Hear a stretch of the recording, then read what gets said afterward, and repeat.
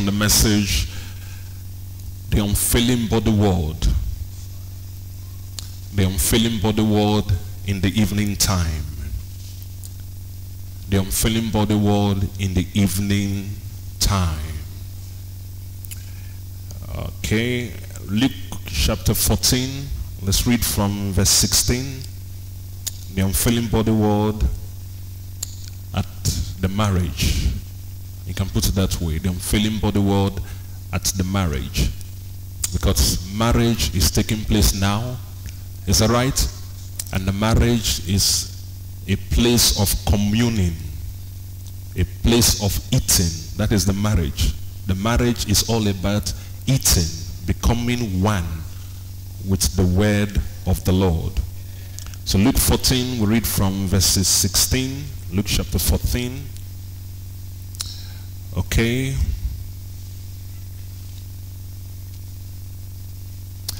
Then said he unto him, A certain man made a great supper, and bade many, and sent his servant to, at supper time to say to them that were bidden, Come, for all things are now ready. Remember your filling body word at supper time.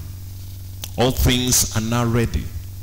And they all with one consent began to make excuse. The first said unto him, I have bought a piece of ground.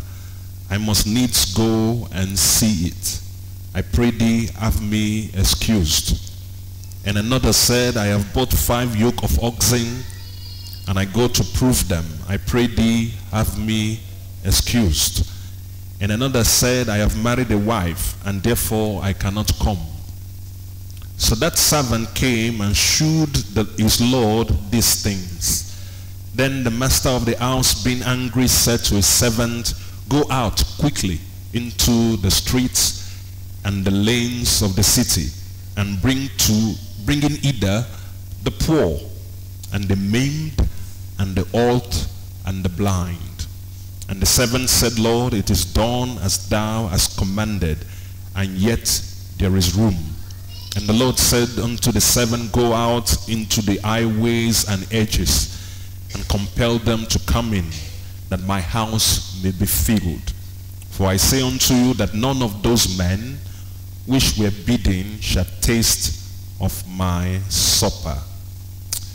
May the Lord God add blessing to the reading of his word. You may be seated.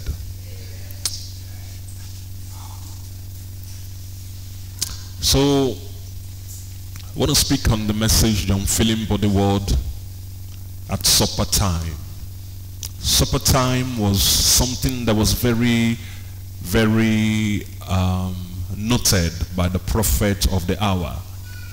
He said, there shall be light at the evening time. And the Bible told us about the morning and the evening sacrifice that each of the Israelites had to offer. It shows us a continuous sacrifice. And today our bodies is what we are demanded to offer. Present your bodies as a living sacrifice, holy and acceptable unto the Lord, which is your reasonable service. So our bodies are presented daily, continuously, as a living sacrifice. And that is why we've said that in Christianity, as you journey, sacrifice is important. We are meant to have different levels of consecration. Is that right?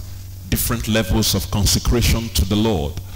You know, you read your Bible, you will see that one time God told Ezekiel to lie down on one side of his body for a certain number of days. I don't know how many number of days again. I told him to lie down just on that side of the body. Then after that, lie on the other side of the body for certain number of days. These things are different levels of consecration that are demanded. Now that's in the literal. In as you as a believer, there are levels of sacrifice God need from you. Sometimes the Lord could demand of you, do not watch TV for one year. That could be a sacrifice that God has demanded of you. If you go against it, it becomes a sin. Not that watching TV is a sin, but God could say of you, make this sacrifice for me. He could tell you, go off the internet for a certain number of years or months or days. It's the sacrifice is demanding of you. Everyone that comes to God must make sacrifice. There must be something you are sacrificing in order to be of service to the Lord. So the sacrifice is because you want to consecrate yourself. Are you listening? You want to consecrate yourself. You want to dedicate yourself. You want to have nothing impeding your spiritual connection to God. You don't want to have anything impeding it in any way. So Brother Bram noted so much the implication of the evening time, the sacrifice offered at the evening time. Elijah, when it was evening time, he said, you've done all you could. It's not time for me to call upon the name of my Lord. And then we see that all of these things, many of them were done at the evening time. And so at evening time is when you also have supper. It is the time of communion. You know, in Revelation chapter 3, when Jesus was driven out of Laodicea, he stood at the door and was continuously knocking and was saying that he that will open up, I will come into him. Is that right? And I will do what? I will sup with him. Sup, supper. Is that right? It's at evening time. So it is at evening time that the Lord is calling on people imploring them to open up to him so that he can commune with them. He can sup with them. Is that right? He can give of himself to them. So it takes place at the evening time. At the evening time, there shall be light. And we're looking this evening, the unfailing body word at supper time. Because what the Lord God is serving at this period of the, of the evening time is supper and is himself the unfailing body word is what he is offering. Let's turn to Revelation chapter 19. In Revelation 19 we see two kinds of supper that I want us to briefly look at before we come back to Luke chapter 14. Revelation 19, verse 1. And after these things I heard a great voice of most people in heaven saying, Hallelujah, salvation and glory and honor and power unto the Lord our God. For true and righteous are his judgments, for he had judged the great whore which did corrupt the earth with her fornication, and hath avenged the blood of his servants at hand. Quickly, let's go to verse 7. Um, let us be glad. And I heard as it were the voice of a great multitude, and as the voice of many waters, and as the voice of mighty thundering, saying, Hallelujah. So the voice of a great multitude speaks of the bride. Remember Revelation chapter 7, a great number which no man could what? Or a great multitude which no man could number. He said, I heard as it were the voice of a great multitude. And then he said, as the voice of many waters. Revelation chapter 1, the voice of many waters is the voice of the bridegroom. Water speaks of thickness and multitude of people. So the voice of the bridegroom is in his people. Is that right? And the voice is emanating. And as the voice of mighty thunderings, saying, Hallelujah, for the Lord God omnipotent reigneth. Let us be glad and rejoice and give honor to him. For the marriage of the Lamb is come. So the marriage is taking place now and is taking place outside of Laodicea and outside of Laodicea is the time of supper is that right? So the marriage is taking place during supper time. He said, let us be glad for that marriage has come and his wife hath made herself ready. And we say the bride made herself ready through finally the ministry or the first ministry of William Branham. Because the first ministry of William Branham was to turn the hearts of the children to the fathers. The fathers were the Pentecostal fathers. So when the bride became again like the early church, that was the bride readied. Is that right? When we became exactly like the early church, that was the bride made ready. And upon the earth, I don't think we have any group of people who, are, who have been made this ready. I don't think we have. People who once again have told the women to stay off the pulpit. People who now understand the place of speaking in tongues. You don't speak in tongues in public. If you do that, there must be interpretation. Is that right? We, we understand the trueness of the Godhead. It is not three persons in one. It is actually one God with three different manifestations. Is that right? That's the true Godhead. And then all of these things have been brought in back, church order, everything restored to the church. That means that the wife has made herself ready. And because she was ready was why the marriage could now come. But the marriage is coming at supper time. Is that right? That's when the marriage is coming. And at that time is when Jesus reveals himself. So Brother Bram preached the message, the unveiling of God. So we had the prophet telling us, I am unveiling God to you. The God that is veiled, the God that you don't know, I now unveil him. I take away the veil. Now you can see him clearly as he is. And all of this is taking place outside of Laodicea at the same time that the bride has made herself ready. And she's ready now for marriage. And the marriage is taking place at supper time because the marriage is supper. The marriage is communion. The marriage is feasting on the unfailing body word of the Son of Man. The marriage is the invisible union of the heavenly bridegroom and his earthly bride. That union is the bride eating the unfailing body word at supper time. Eating it as she eats, she's uniting. Does it make sense to you? As she eats the unfailing body word, that is marriage. That is uniting. She's becoming one with the bridegroom. And to her was granted that she should be arrayed in fine linen, clean and white. Right?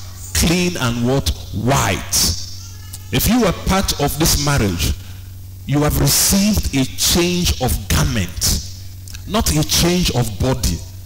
There is a spiritual garment that the believer receives.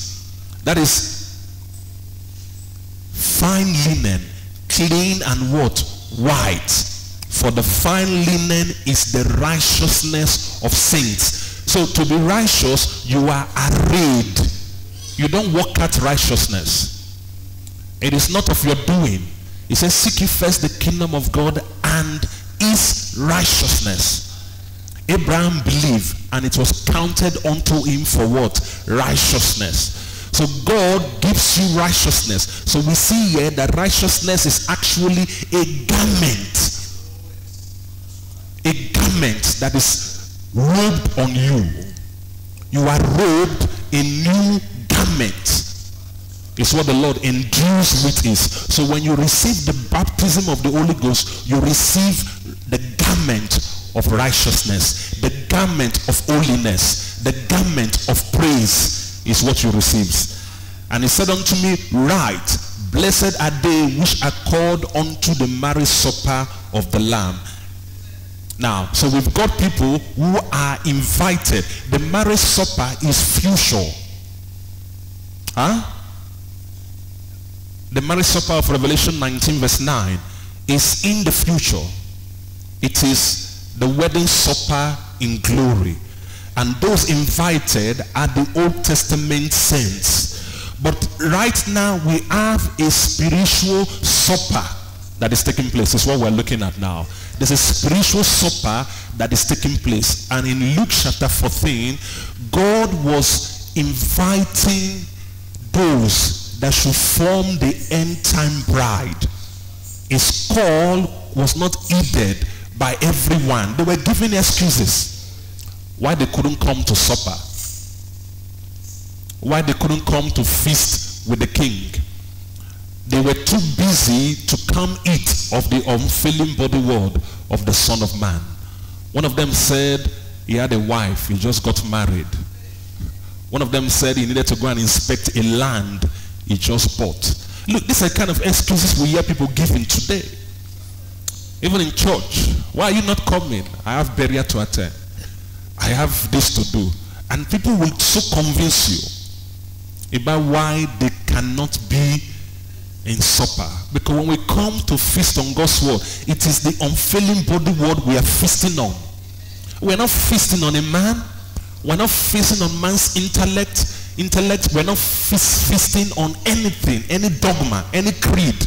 We are feasting on the unfailing body word of the Son of Man. And yet, many are giving excuses why they cannot come. Why they cannot come. They're giving excuses. May the Lord help us. Let's see something else that is happening as the Lord invited people for the supper.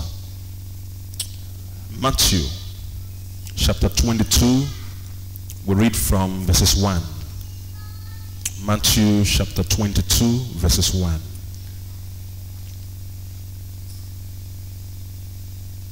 In the evening time there shall be light.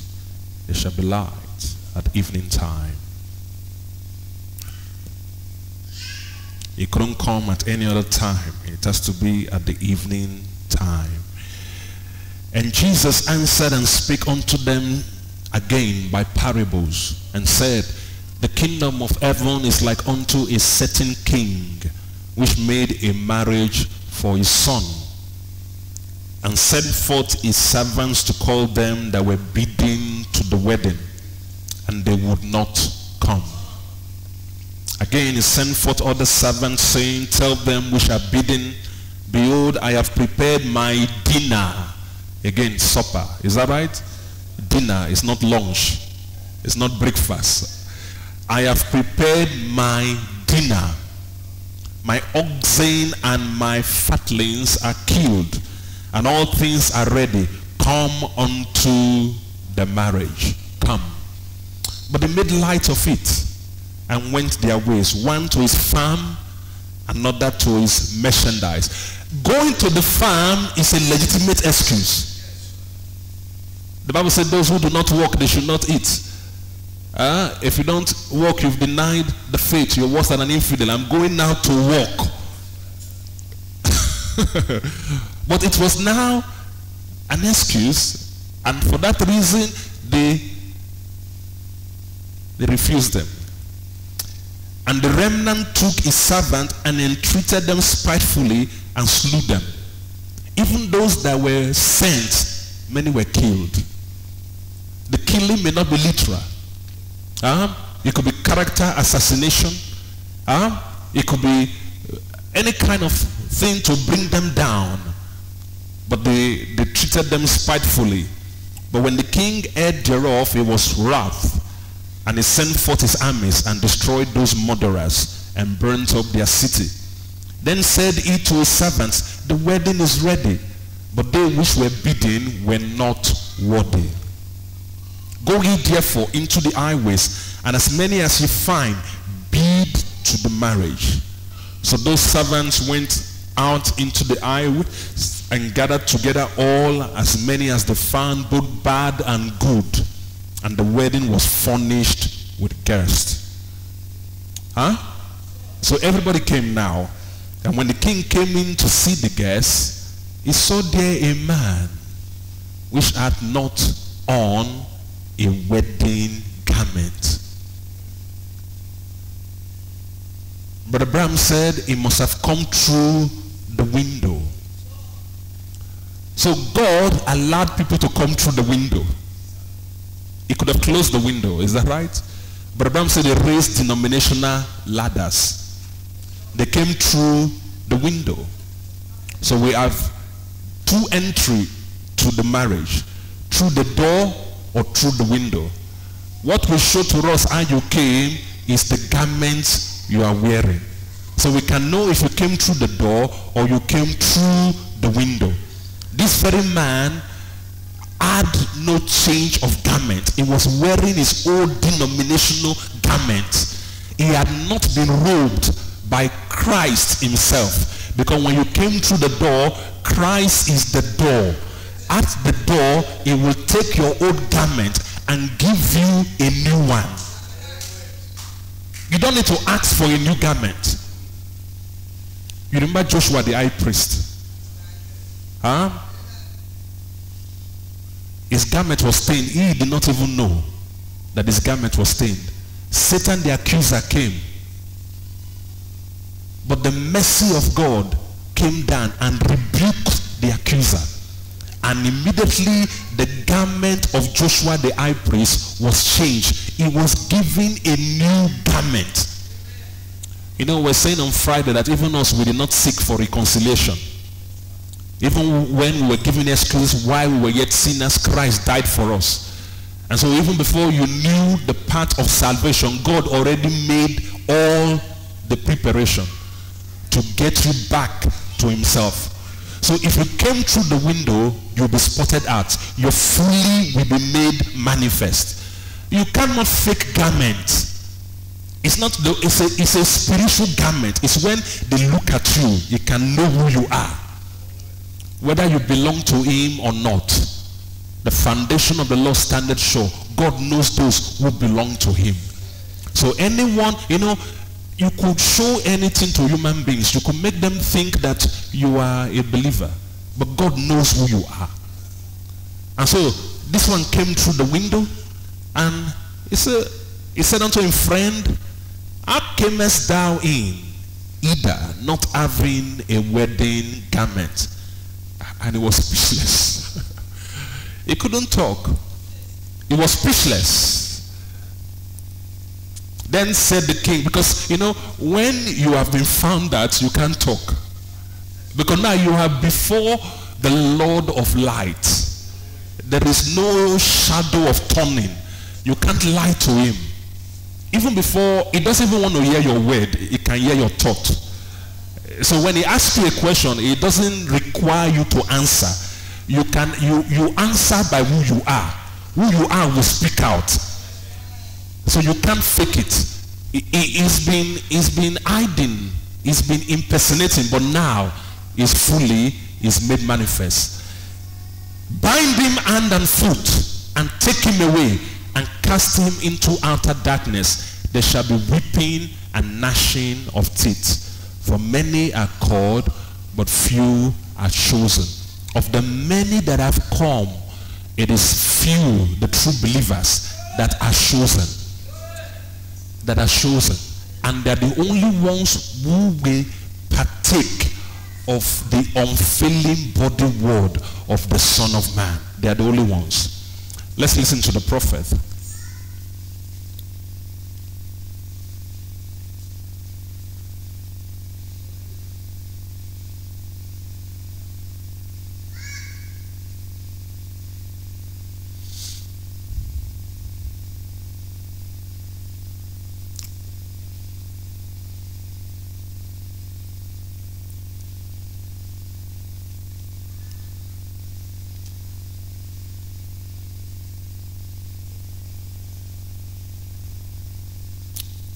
But Abraham said in the message, things that are to be,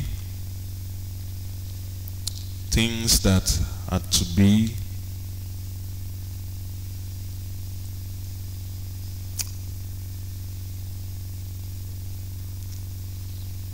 paragraph 1, 108, 107, sorry. Things that are to be. He said, did you have reservations? Well, I'm sorry. Everything is filled up. You are out in the cold because you failed to make reservations. And if you come to the end of your life's journey without reservations, there will be no one there to meet you. You will have to step off into a dark eternity where there will be screaming and weeping and wailing and gnashing of teeth. You must. You can't get into the city. You, because you haven't got reservation. You must have them to enter the city where Jesus has gone to prepare a place for you. Remember, you must have reservations and the garment of salvation on. Now you know what reservation is. Reservation is your theophany. Huh? Then there's another one called garment of salvation. Huh? Theophany is different. Theophany is waiting. The garment of salvation is inside you now.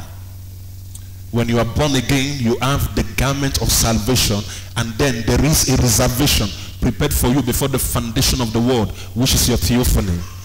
In Matthew, I got a scripture here. I'm watching Matthew 22, the scripture we read, 1 to 14. I haven't, um, I haven't time to read it because it's getting too late. I've spoke too long to you, but remember the king sent forth and made a supper. He killed all of his oxes and fixed the fatlings and everything, had a great supper prepared, and he sent out and he bid many to come. One said, well, you know, after all, I belong to this, I got this, I got to go with my farm, and one did many things, and he sent again, and they evilly mistreated them. This was the Jewish generation Jesus was talking to. They had something else to do. Then finally, he sent in. He said, just compel them. Huh? Go into the streets and highways and everywhere and compel them to come in. And after that, determine that his house, his wedding supper was going to be set. There's going to be guests there. And then he found a man in there without the wedding garment on. He wanted to hold to the old coat. Huh? He wanted to what? Hold to his old coat. And look what he said, friend, after I have invited you to my wedding supper, and I invited you and give you an invitation to come. And if you ever was in the Orient, which I preached in many times, that, that wedding supper is still carried on just the way it was. The bridegroom, all he has, so many guests is going to have, probably Brother Cop, probably you watched it there in India. They have so many guests that he's going to ask. Say he's going to ask 30 guests. And the bridegroom has to furnish the robes. He has to furnish them. Therefore, there is a man stands at the door and you come up with your invitation, he examines your invitation and he puts you on a garment, a robe. That some of them are rich, some of them are poor, some of them are different, but they all look alike when they got the robes on. There's no rich man there anymore because we all wear the same robe in the spirit. Is that right? It's the same robe in the spirit. And you have to all be alike. You aren't going to ever say, I'm a Methodist over there, I'm a Presbyterian over here. You aren't going in the first place. You got to come by the door. Jesus said, I am the door to the sheepfold. I'm Pentecostal, I'm this, I'm that. That don't mean one thing. You come by that door. And if you come by that door, you get the robe. And this man, when he said, how did you get in here, friend? it showed it come up some other way and come in a window but not through the door not through the door the way that jesus came through self-sacrifice giving your all to god and walking to calvary and be crucified with him and raised again to wear his garment of sacrifice and death to the things of the world because coming through the door, the man needed to give up his old clothes. He didn't want to give it up. He didn't want to sacrifice it. Is that right? So he held on to it. He saw a way through the window. That is the way that Satan had provided. And felt coming up that way, he could still keep the old garment and be in the marriage. But it was spotted out. If you love the world or the things of the world, the love of God is not even in you.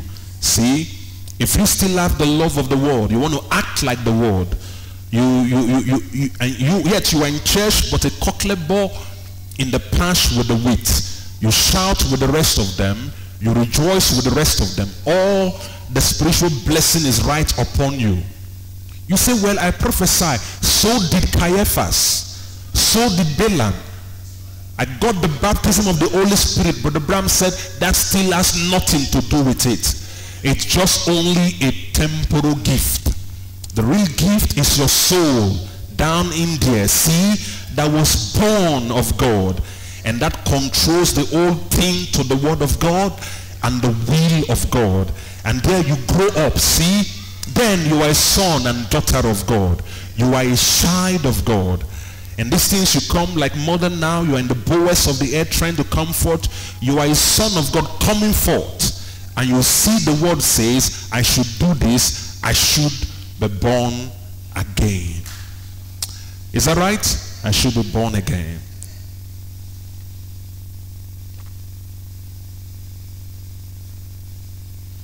Paragraph 116. Brother Bram said, um, okay, 115, see what I mean? Oh, little children, do you feel the need of that vitamin tonight? That's something. There is a body waiting yonder. There is a body waiting to be received. People, don't be deceived. Don't be deceived. The devil is a deceiver. Even the wedding garment, you must wear it. It must be. Now we are at the evening time. The earthly body is now ready to be dissolved and we are preparing to enter into the heavenly. And we now feel the strange call of God to go to this great Eden. And before we can be born here, our little bodies cried for something that had to be provided or would be an afflicted child here if we wasn't. God has no afflictions up there. Everyone perfectly lined up, the bride just exactly like the groom was. The word is manifested in its season. God grant tonight, children, each and every one of you, there is a heaven to go to. There is a hell to stay away from. You love that? There is a hell to stay away from. No need to be impersonating. There is no need to um, act what you are not. Stay with the word of God. Huh? Do what is right. Have your wedding garment on. Make no impersonation. Do not settle for anything less until you get that baptism of the Holy Spirit. It is the only thing that can qualify you to eat. If you are not born again, you cannot eat. Hope you know that. You can't eat the word of God if you are not born again. You can't eat. It is only those who are born again that can now begin to eat the word of God, that can begin to sup the word of God. So it's the new bed that takes you to that pedestal where you can now feast on the word of God. Before we go to the Lord's table, the anointed ones at this end time. Paragraph 366. 366, the anointed ones at this end time.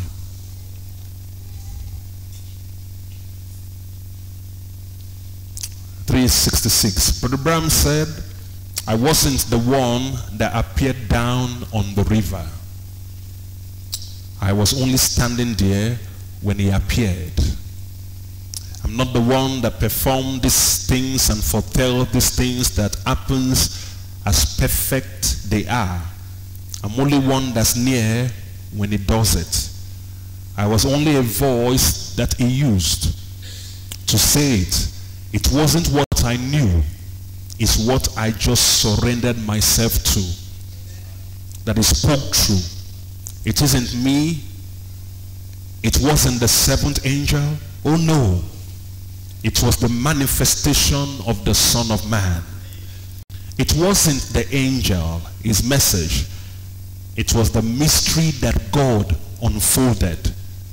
It's not a man, it's God. The angel was not the Son of Man. He was a messenger from the Son of Man. The Son of Man is Christ. He is the one you are feeding on. You are not feeding on a man. A man, his wealth will fail. But you're feeding on the unfailing body word of the Son of Man. That's what we are feeding. It's real, brothers and sisters. It's real. It's rich. All you need is to be born again. Then you can begin to eat. You can begin to become one. It is the new birth that brings you access to the marriage. It's the new birth that takes you into the marriage because it's in eating you are uniting with the bridegroom.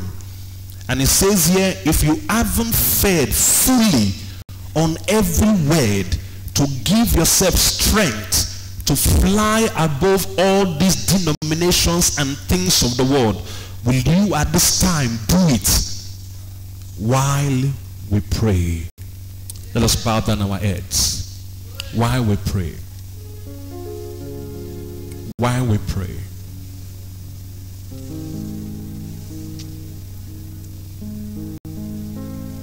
Sacrifice is required. You must give up everything that you are in order to accept what he has freely provided. You cannot keep the old garment and function in the marriage of the Lamb. You cannot keep the old garment and come sit on the table to feed on the unfailing body word. You will be driven out. You will be spotted out and binded hand and foot and thrown into the coming tribulation. It's a simple thing. Come through the door. Give up who you are. Sacrifice whatever achievement you've made sacrifice everything whatever knowledge you've got whatever creed whatever dogmas whatever self that remaineth of you lay on the altar and take what the lord has freely provided it comes without money it comes without price what is required is to give yourself up don't try to escape give yourself up get that old man killed. Don't listen to the devil's shortcut. Don't listen to the devil's idea. He's a deceiver. He's cunning. He's even within the message cycle providing men alternative to God's original way. But God is not going to change. You must sacrifice yourself at the door. You must come to Christ. You must give yourself up. That's the only way you'll be granted entry and access to the unfailing body word of the Son of Man. Look at that guy with the old garment. He was hiding, hiding. He couldn't come to the table, just hiding, loitering around until he was spotted out. Until he was spotted out. And God is daily spotting impersonators out and binding them, sealing them up for the tribulation. Make it because this is the judgment. He said judgment must begin at the household of God. We've come to judgment. Marriage of the Lamb is judgment scene. It's the ecclesia that are gathered. Anyone that is not properly fit or properly robed will be spotted out. Litigators are here. The jurors are here. This is not a place where you can hide. This is not a place where you can play anky panky. If you are not ready, you'll be spotted out. And you may feel fine in the flesh, whereas you've been judged in the spirit. In fact, the, the consequence of judgment could be that they may promote you in your working place. All of this is to indicate that you are out. You may be dying and smiling. You wouldn't even know. You may be going scot-free, but one day may just be the last day for you. You can retrace your steps back. You came through the window. Only yourself crawled through the window back try to come through the door. Try to come. There's no gain. There's no gain impersonating. There's no gain playing church. There is no gain playing bride. No. It's either you are bride or you are not. But this is supper time and the Lord's table is ready. Remember, we've come to the communion service. We have before us representative of the spiritual food that we are having in due season. Only those who are eating spiritually should partake of this physical bread and wine. So if you are so minded, if you truly are communing with the Lord spiritually, you can proceed, you can approach the Lord's table